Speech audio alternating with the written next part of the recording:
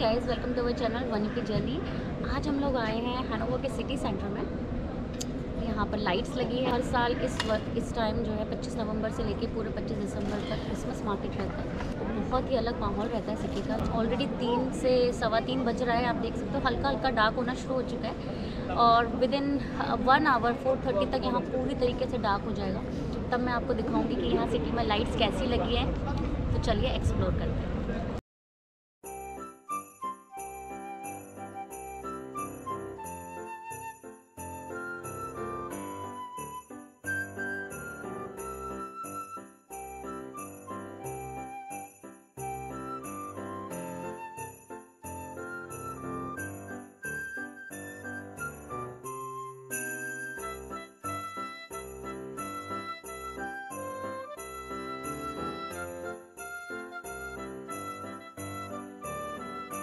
आप मेरे पीछे देख सकते हैं, यहाँ पर ये विंटर स्पेशल शॉप है, जहाँ पर क्रीम्स मिलते हैं श्माल्स मक्खन मिलते हैं, जो विंटर के लिए स्पेशली होते हैं, क्योंकि वो गर्म होते हैं बहुत टेस्टी लगते हैं। ट्राई करने वाले श्माल्स मक्खन आपको दिखाती हूँ मैं कि वो कैसे दिखते हैं, उनकी प्राइसेस क्या रहती है। चलिए खरीदती हूँ।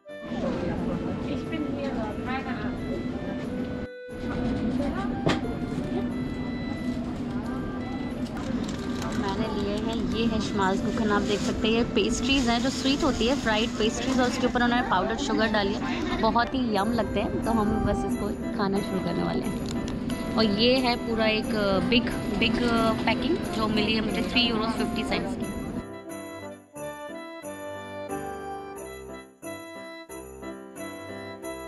आपको दिखाएँगे कि यहाँ पे किस तरह की क्रिसमस ट्री की वैरायटीज़ मिलती हैं क्या क्या डेकोर मिलता है, सब कुछ एक ही जगह पे आपको मिल जाएगा। तो जैसे कि आप देख सकते हैं, यहाँ पे ऑलरेडी काफ़ी सारी ट्रीज़ रखी हुई है।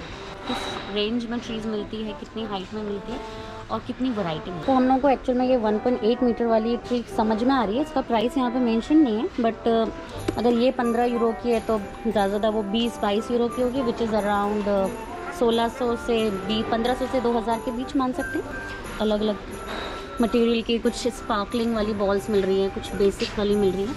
बट मुझे ये समझ में आ रहा है आई थिंक इसमें काफ़ी वैरायटीज़ हैं। एक ये वाला बॉक्स ले रहे हैं। ये इस तरह की बड़ी सी ट्री मिल रही है और ये सिर्फ़ 15 यूरोस की आप देख सकते हैं कुछ इस तरह की पैकिंग में आती है। के आसपास ही आपको सब कुछ वहीं पर आपको डेकोर मिल जाएगा, उसका जो हैंगिंग है जो ट्री का डेकोर चाहिए लाइट्स चाहिए, सब आपको इसी एक ही जगह मिल जाएगी। तो ये आजकल हर हर स्टोर में मिल रही है। यहाँ का बज रहा है अभी शाम का साढ़े चार। काफ़ी डार्क हो जाता है ऑलरेडी चार, साढ़े चार बजे ऑलरेडी पूरा अंधेरा हो जाता है और टेम्परेचर अभी है चार डिग्री क्रिसमस के टाइम पर बहुत ही अलग माहौल होता है और क्रिसमस मार्केट लगता है बट सैडली इस साल क्रिसमस मार्केट नहीं लग रहा है और जर्मनी का क्रिसमस मार्केट काफ़ी फ़ेमस है। तो मैंने सोचा, चलिए मैं आपको एक वर्चुअल टूर दे देती हूँ कि यहाँ पर इस साल बिना क्रिसमस मार्केट के सिटी कैसी लगती है। डिफरेंट हर साल से बट चलिए एक्सप्लोर करते हैं।